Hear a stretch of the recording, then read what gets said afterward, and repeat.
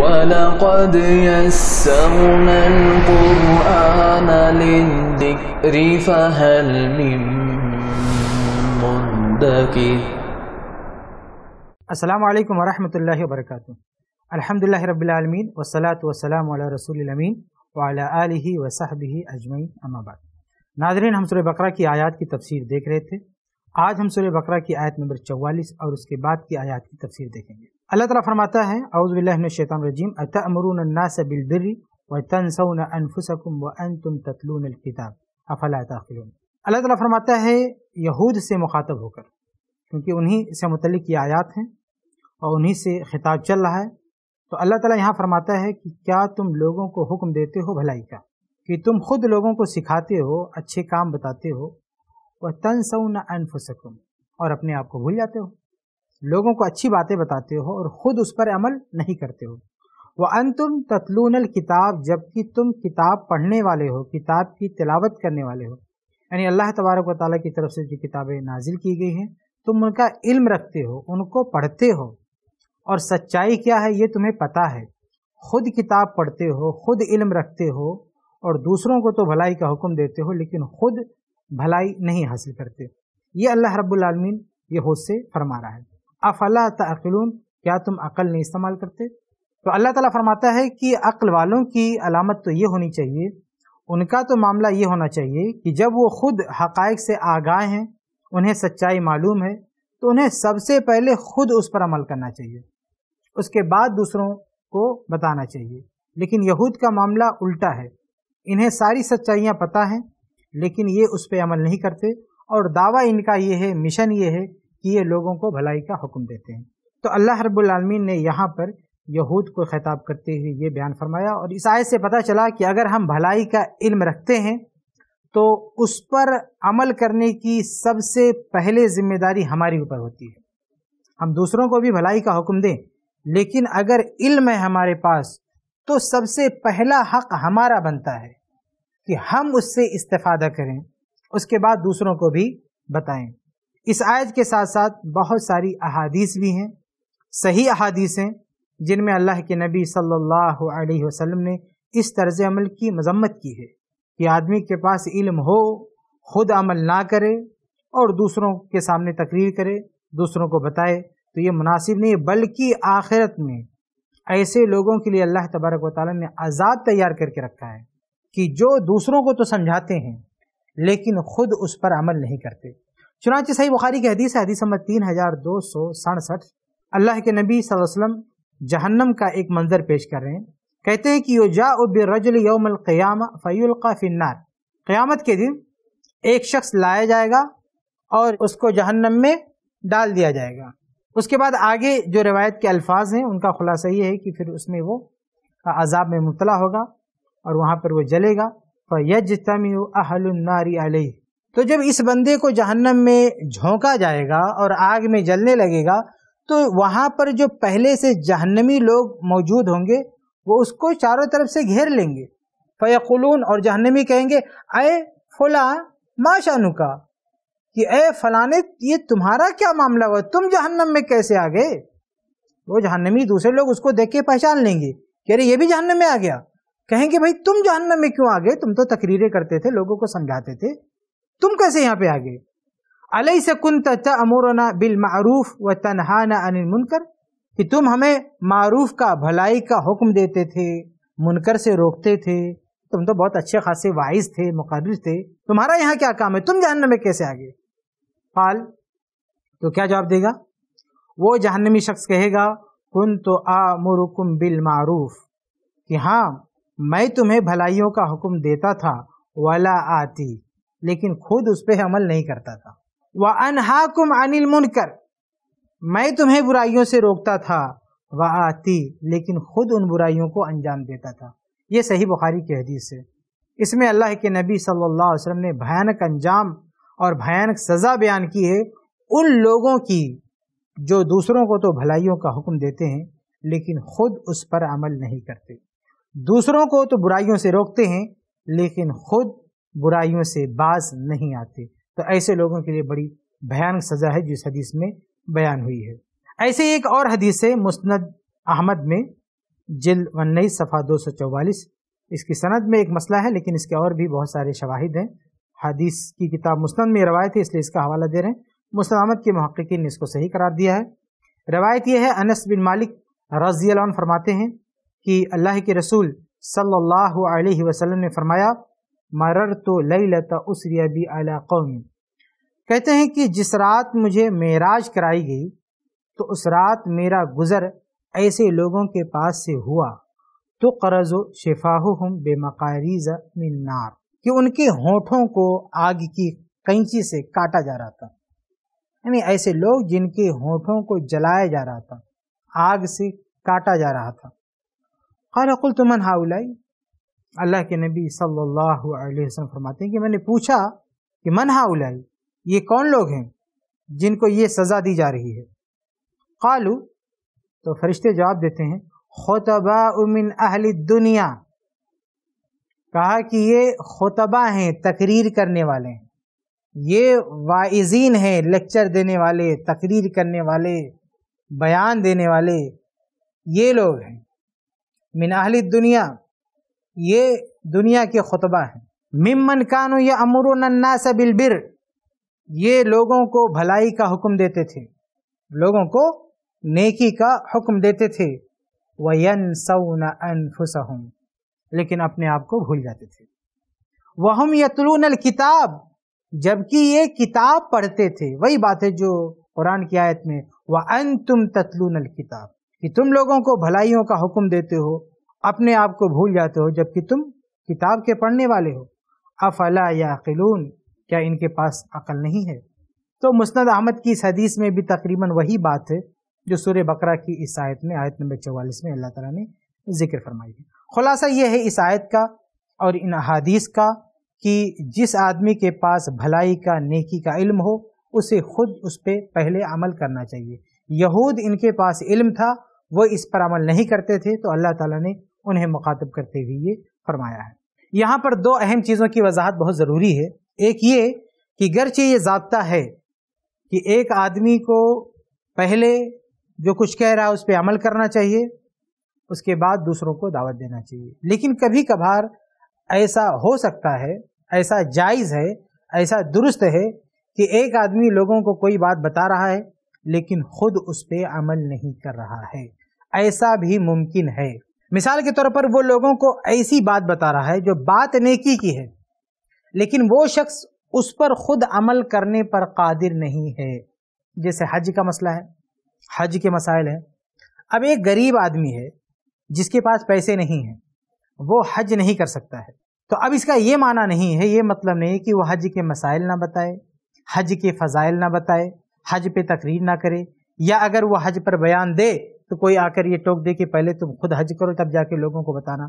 तो यहाँ पे मसला ये है कि ये आदमी जो नेकी का हुक्म दे रहा है, नेक बात लोगों को बता रहा है, वो इस नेकी पर सुस्ती, काहली की वजह से अमल नहीं कर रहा है, बल्कि वो उसकी इस्तात ही नहीं रखता है।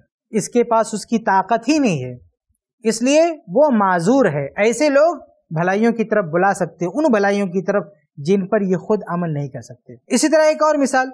कि एक आदमी बहुत गरीब है, उसके पास पैसा नहीं है, अब वो जक़ात पे तकरीर करे, सदका खैरात पे तकरीर करे, लोगों को उभारे कि नफली सदका करो, लोगों की मदद करो। अब कोई आदमी उसके पास आके कहे कि भाई, आप दूसरों को तो कहते हो सदका खैरात करो, खुद करो। जबकि उसके पास कुछ नहीं, वो फकीर है, थोड़ा बहुत जो है, वो घर के खर्चे के लिए है, वो सदका खैरात करने की सलाहियत नहीं रखता है। तो यहाँ पे ये नहीं कह सकते कि जो आदमी भी सदका खैरात पे तकरीर कर रहा है, वो सबसे पहले खुद नफली सदकात और ये सब करे, तब जाके तकरीर करे। ऐसा नहीं है, क्योंकि ये शख्स माजूर है। तो ये बात वाज रहनी चाहिए कि अगर कोई ऐसा मसला है, कोई ऐसी नेकी है, जिस पर अमल करने की कुदरत किसी के पास नहीं है इस्तात नहीं है, फिर वो उस पर अमल नहीं करता है, अदम इस्तात की बिना पर, और दूसरों को उसकी तरगीब देता है तो ये कोई बुरी बात नहीं है, ये जायज़ है, ये दुरुस्त है। ये एक बात बहुत ज़रूरी थी जो आपके सामने वाजे की गई।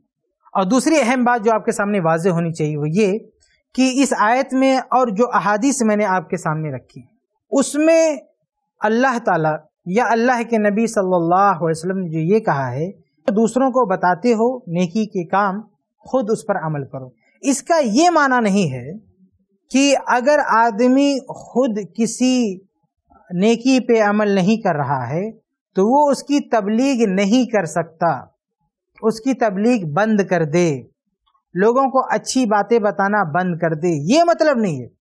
यानी उसको जो बुरा कहा जा रहा है तो उसकी बुराई ये नहीं है कि लोगों को अच्छे काम का हुक्म दे रहा है। बुराई ये है कि खुद अमल क्यों नहीं कर रहा है। इसलिए अगर हमारे समाज में कोई भी ऐसा शख्स दिखे जो तकरीर कर रहा है, लोगों को भलाइयों की तरफ़ बुला रहा है और खुद उस पर अमल नहीं कर रहा है तो हम उससे ये नहीं कहेंगे कि तुम बयान देना बंद कर दो, तुम तकरीर करना बंद कर दो, बल्कि हम उससे ये कहेंगे कि जो तुम कह रहे हो, उस पर अमल करना शुरू कर दो। तो जो गलती है, उसकी सुधार की जाएगी। इसका यह माना नहीं है कि जो गलती नहीं है, जो अच्छाई है, उसको भी बंद कर दिया जाए। तो ये नुक्ता आप समझिए। हमारे यहाँ बहुत सारे लोग ऐसे लोगों को बाइकाट करना शुरू कर देते हैं। कि आप खुद नहीं अमल करते तो दूसरों को बता ही नहीं सकते। हालाँकि बताना ये बुरी बात नहीं है, अमल ना करना ये बुरी बात है। इसलिए अगर वो अमल नहीं कर रहा है तो अमल करने पर उसको उभारा जाए और जो नेक काम कर रहा है, उस नेक काम से उसे ना रोका जाए। और ये उसूली बात है कि किसी भी गलत काम की वजह से किसी को नेकी से नहीं रोका जाएगा, अच्छे काम से नहीं रोका जाएगा। तो ये दूसरा अहम नुक्ता है, ये भी आप समझ लें। कि जो लोग कही हुई बातों पे अमल नहीं करते हैं तो अमल ना करना ये बुरी बात है। लेकिन जो अच्छी बातें बता रहे हैं, ये बुरी बात नहीं है। इन अच्छी बातों को बताने से उनको नहीं रोकना है, बल्कि उनको अमल की दावत देना है कि आप भी अमल करो।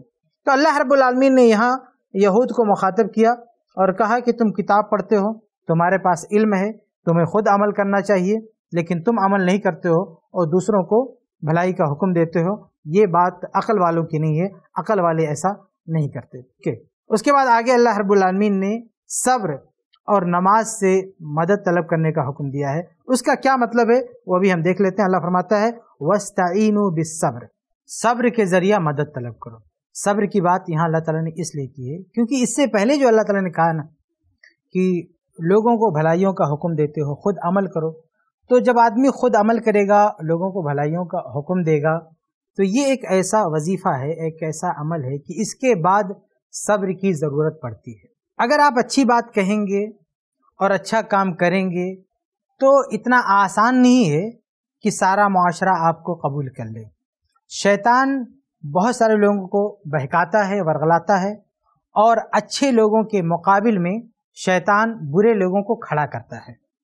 इसलिए हम ये ना समझे कि अगर हम अच्छा काम कर रहे हैं लोगों को अच्छी बात की तरफ़ बुला रहे हैं तो समाज हमारा इस्तकबाल करेगा, हमें अपने सरों पे बिठाएगा, ऐसा नहीं है। बल्कि समाज की तरफ़ से मुजाहमत का, मुखालफत का सामना भी हो सकता है। और हमारे अखलाक कितने ही अच्छे क्यों ना हो, हम कितनी ही मोहब्बत के साथ, कितने ही अच्छे अखलाक के साथ अपनी बात क्यों ना रखें, उसके बावजूद भी मुखालफत होगी। देखिए, तमाम इंसानों में अम्बिया और रसुल से बेहतर अखलाक किसी का नहीं हो सकता। लेकिन अम्बिया आलम की पूरी तारीख पढ़ डालें। आप देखेंगे कि जब जब उन्होंने तोहहीद की दावत दी, लोगों को समझाया, उनकी मुखालफत हुई। उनको गालियाँ दी गई। उनको झूठा कहा गया। हती कि बाज अम्बिया आलम को कत्ल तक कर डाला गया। इस हद तक मुखालफत होती है। इसलिए ये काम आसान नहीं है। नेकी पे अमल करना और लोगों को नेकी की तरफ़ बुलाना ये बहुत आसान भी नहीं है। इसके लिए सब्र की बहुत ज़रूरत है। इसलिए अल्लाह फरमाता है वस्त सब्र ऐसे हालात में अगर घिर जाओ तो सब्र से मदद तलब करो। कुरान मजीद में एक छोटी सी सूरह है, सूरतुल असर। उसमें अल्लाह रब्बुल आलमीन ने बयान फरमाया है कि इंसान खसारे में है, सिवाय उन लोगों के जिनके अंदर चार खूबी पाई जाए। इल्लदीन आमनु व आमिल सालिहात व सब्र इस सूर्य में भी अल्लाह रब्बुल ने बयान फरमाया है कि जब आप हक बात की वसीयत करेंगे, लोगों के सामने हक रखेंगे तो आजमाइशें आएँगी। इसलिए फ़ौरन कहा व तवा सब्र और सब्र से भी काम लेना है। तो वस्तिन बिसब्र जब हम मुश्किलात में घिर जाएँ तो सब्र करना ये हमारे लिए मददगार साबित हो सकता है। और इसमें बहुत बड़ा अज्र है। दुनिया में भी और आखिरत में भी। बल्कि कुरान ही में सूर्य जुमर में अल्लाह ताला ने बयान फरमाया सूर्य जुमर आयत नंबर दस में इन नमा युफ़ाबिरून अजरहम बेगैर हिसाब कि जो सब्र करने वाले हैं, अल्लाह ताला बगैर हिसाब के, बगैर हिसाब के उनको अज्र देता है, बेहिसाब अज्र देता है। यानी हम अंदाज़ा नहीं कर सकते कैलकुलेशन नहीं कर सकते कि कितनी नेकी हमको मिल सकती है। जैसे बाज नेकियों पर बताया गया ना कि एक नेकी पे दस सवाब मिलता है दस अजर मिलता है। ऐसा करने से इतना सवाब मिलता है। लेकिन सब्र, अगर कोई आदमी सब्र इख्तियार करता है तो उसके सब्र का जो पैमाना है, उसी हिसाब से अल्लाह ताला उसको सवाब देगा। लेकिन कितना सवाब? हम सोच भी नहीं सकते। ये इतनी बड़ी फजलत की बात है। इसलिए जब मुश्किलात आए, परेशानियाँ आए तो हमें घबराना नहीं चाहिए और सब्र करना चाहिए। इस उम्मीद के साथ कि ऐसे हालात में सब्र करने पर अल्लाह के यहाँ जो अज्र होगा, उसकी कोई हद नहीं, उसका कोई हिसाब नहीं। इस बारे में बहुत सारी अहादीस भी हैं। चुनाच सही बुखारी की हदीस है, हदीस नंबर एक हज़ार दो सौ तिरासी। अनस बिन मालिक रज़ी हदीस के रावी हैं। कहते हैं कि मर नबी वसल्लम बि इमरातिन तब के इंद कब्र अल्लाह के नबी सल्लल्लाहु अलैहि का गुजर एक औरत के पास से हुआ, जो एक कब्र के पास रो रही थी। फ़काल इतक़िल्ला वसबिरी। तो अल्लाह के नबी सल्लल्लाहु अलैहि वसल्लम ने फरमाया कि अल्लाह से डरो और सब्र करो। कालत इलाई का अन्नी। उस औरत ने कहा, यहाँ से हट जाइए। फ़िन कलम तो सब बेमुसीबती क्योंकि आपको वो मुसीबत लायक नहीं हुई जो मुझे लायक हुई है। वलम तारीफ़ हो और इस औरत ने अल्लाह के नबी सल्लल्लाहु अलैहि वसल्लम को पहचाना नहीं। यानी ये गम में थी, परेशान थी, कब्र के पास रो रही थी। आप वसल्लम ने उसको नसीहत की। इसने पहचाना नहीं। अगर नबी को पहचान लेती तो ऐसा जवाब नहीं देती। पहचाना नहीं। फ़कील इन नबी वसल्लम। और अल्लाह के नबी वसल्लम ने भी उस औरत की बात का बुरा नहीं माना। समझाया, उसने पलट के जवाब भी दिया, लेकिन आप सल्लल्लाहु खामोशी के साथ आगे बढ़ गए। जब आप सल्लल्लाहु अलैहि वसल्लम वहाँ से चले गए तो उस औरत को बताया गया इन नबी सल्लल्लाहु अलैहि वसल्लम। कि तुमने जिनको जवाब दिया है, ये अल्लाह के नबी सल्लल्लाहु अलैहि वसल्लम थे। फ़ातत बाब नबी सल्लल्लाहु अलैहि वसल्लम। जब इस औरत को पता चला कि मैंने तो अल्लाह के नबी सल्लल्लाहु अलैहि वसल्लम को ऐसा जवाब दे दिया तो वो औरत अल्लाह के नबी सल्लल्लाहु अलैहि वसल्लम के घर पर आई। फलम तजिद इन बवाबीन फ़कालत लम आरिफ का वहाँ पहुँची। उसके बाद में कहा कि वहाँ पे कोई गेटमैन नहीं था, कोई पहरेदार नहीं था। अल्लाह के नबी वसल्लम तक ये औरत पहुँच गई और कहा लम आरिफ का, कि अल्लाह के नबी सल्लल्लाहु अलैहि वसल्लम, मैं आपको पहचान नहीं सकी थी, इसलिए ये जवाब दे दिया था। फ़काल तो अल्लाह के नबी सल्लल्लाहु अलैहि वसल्लम फरमाया इन नमसब्र इन दसदमतिल उला।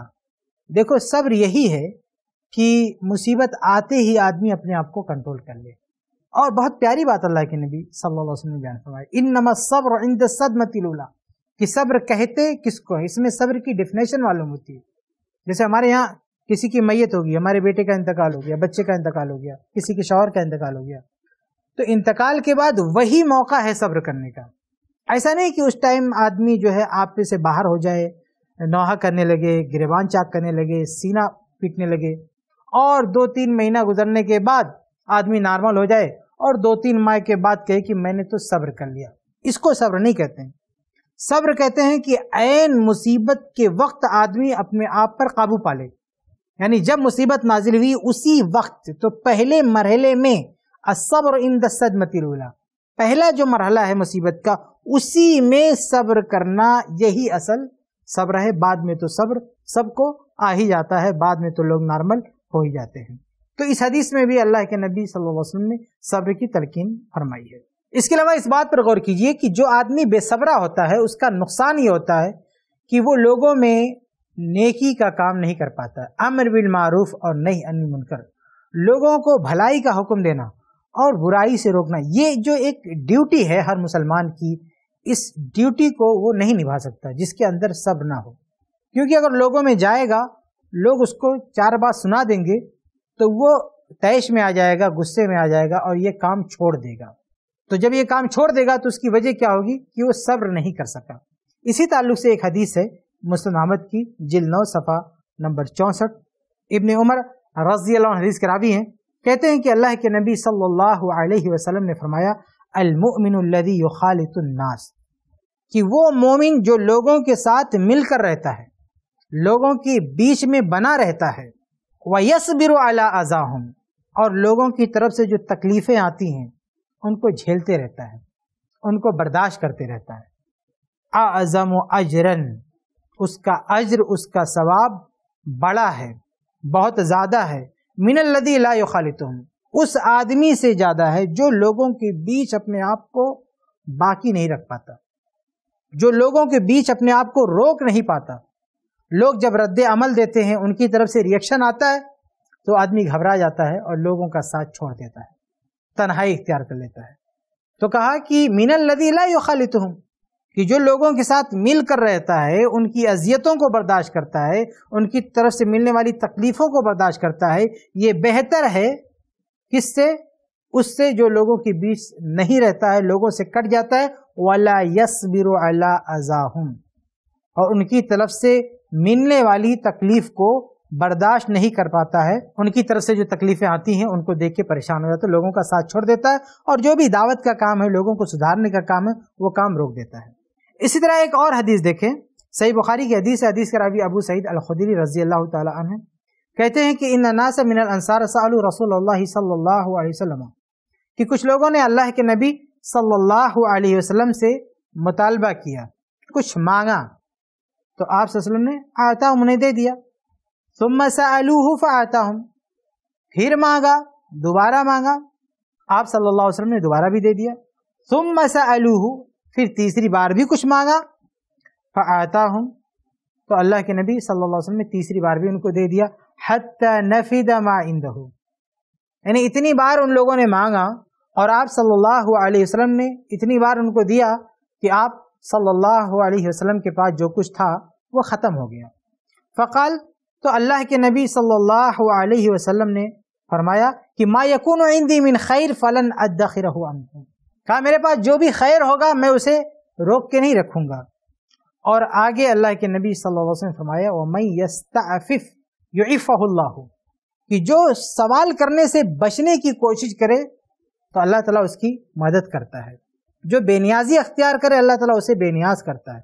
वमई तसब्बर जो सब्र इख्तियार करे जो सब्बिरल्लाह तो अल्लाह ताला उसे सब्र अता करता है। वमा मिन सब्र और कोई भी आदमी सब्र से बेहतर कोई नेमत नहीं पा सकता है। यानी जिस आदमी को अतिया दिया जाए, हदिया दिया जाए, कोई नेमत दी जाए तो सब्र से बेहतर नेमत उसके लिए कोई और नहीं हो सकती है। तो इस हदीस में देखें, सब्र की कितनी बड़ी फजलत है कि अगर कोई सब्र करने की कोशिश करे, अल्लाह उसकी मदद करता है। और ये बात एक दूसरी हदीस में और भी सराहत के साथ आई है मुसन अहमद की हदीस है, जिल्द पाँच, सफ़ा अट्ठारह लंबी हदीस है, उसी का एक टुकड़ा है कि अल्लाह के नबी सल्लल्लाहु अलैहि वसल्लम फरमाते हैं वह अन्न नसर सब्र कि अल्लाह की मदद सब्र के साथ अन नसर सब्र, अल्लाह की मदद सब्र के साथ है। वह अन्न फ़रज अबादल कर्ब, मुसीबत के बाद आसानी आती है। वह अन्न माल उसरी युसरा। और जो भी सख्ती आती है, उसके बाद भी आसानी आती है। तो अल्लाह के नबी सल्लल्लाहु अलैहि वसल्लम ने इस हदीस में भी बयान फरमाया कि सब्र के साथ मदद होती है। अन नसर सब्र सब्र के साथ मदद है। उसी को अल्लाह ताला ने यहाँ पे बयान फरमाया वस्ताइन सब्र यानी सब्र के ज़रिए मदद तलब करो। तो सूर्य बकरा की इनायत में अल्लाह ताला ने यहूद को खिताब किया और कहा कि तुम्हारे पास इल्म है, तुम खुद उस पर अमल करो और सब्र के ज़रिए मदद तलब करो। नमाज़ के ज़रिए मदद तलब करो। सब्र के बारे में कुछ बातें आपके सामने रखी गई हैं।